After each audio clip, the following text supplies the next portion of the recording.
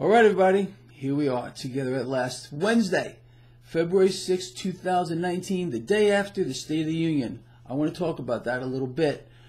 Um, let's start off with the basics. As I am doing this video blog, stocks are flat. Nothing really going on here. 10 year yield, though, is coming down a little bit. Let's keep our eye on that. Why do I think that might be an issue here? Might. Is because we're the stock market stocks are hitting right up against that 200 day moving average. The last two times we went above it, we got a sell off. Not saying that's going to happen here in this extremely fake environment, but let's watch it. All right. With that said, let's move forward here. Uh, State of the Union. The President of the United States hit on some very excellent points. In my view, that's the truth. Um, however, I want to talk about what he failed to do because it's it's bigger than all of the successes that he touted last night. Look, we already knew what he was going to do, and that is tout the economy.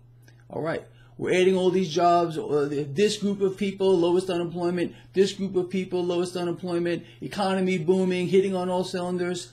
But again, it's look here don't look here. Yeah, sure, everything appears to be good, but don't pay attention to how we're doing it. Don't look at debts and deficits exploding like we have never seen before. This is the truth. We've never seen it like this before.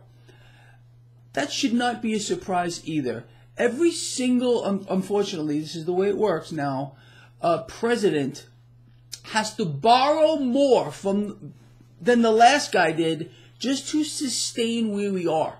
That's the nature of the debt based economic model that we are in. Okay. Our president last night talked about a lot of programs that he wants to institute and was asking for, for money from Congress here. Uh, all kinds of legislation. What it seemed to me like he wants to legislate the United States into bankruptcy. We're already a bankrupt nation. We are the largest debtor nation in the history of the world. The president last night did not mention a word, not one single word about, well, how we're going to pay for it all. That's pretty big. Or cuts of any kind. It's all about spend, spend, and then spend more. The guy does not have a blank checkbook. I think he believes he does.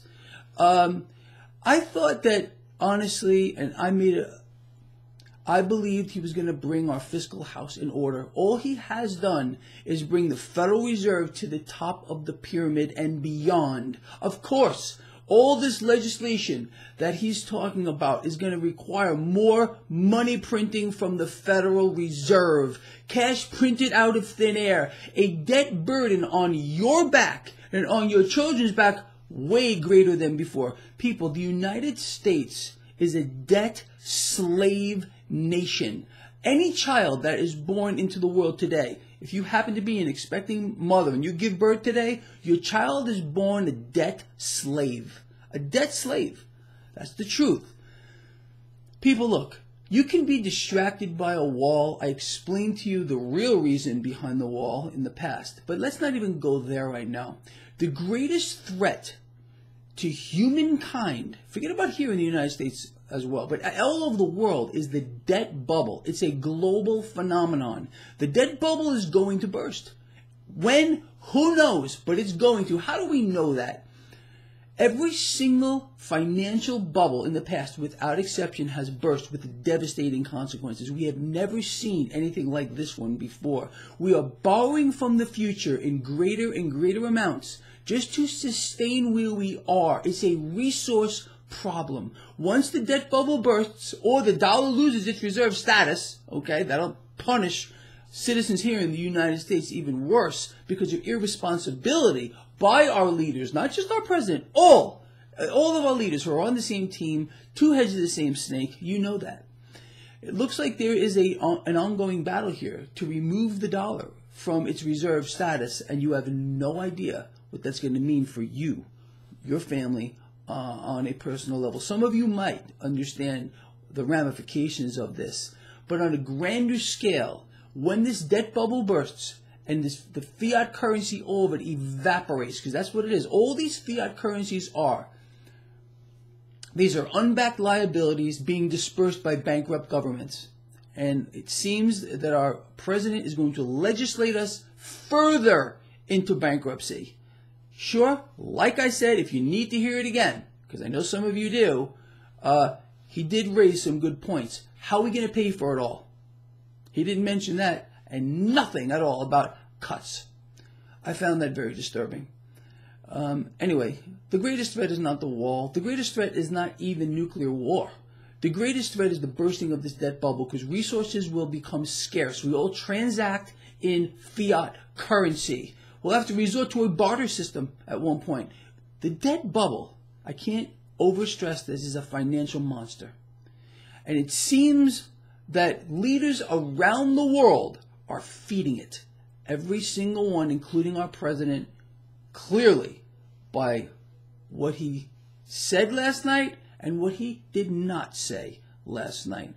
With that said, I, I all I can do is hope for us all. I really can. We need some.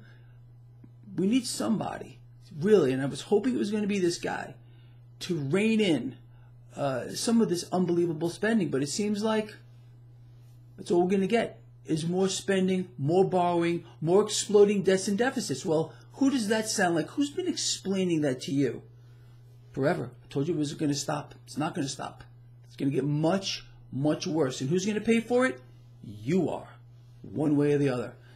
All right. I'll see you at the end of the day. And uh, so keep an eye on this market here 200 day moving average. Watch that 10 year yield. See you later.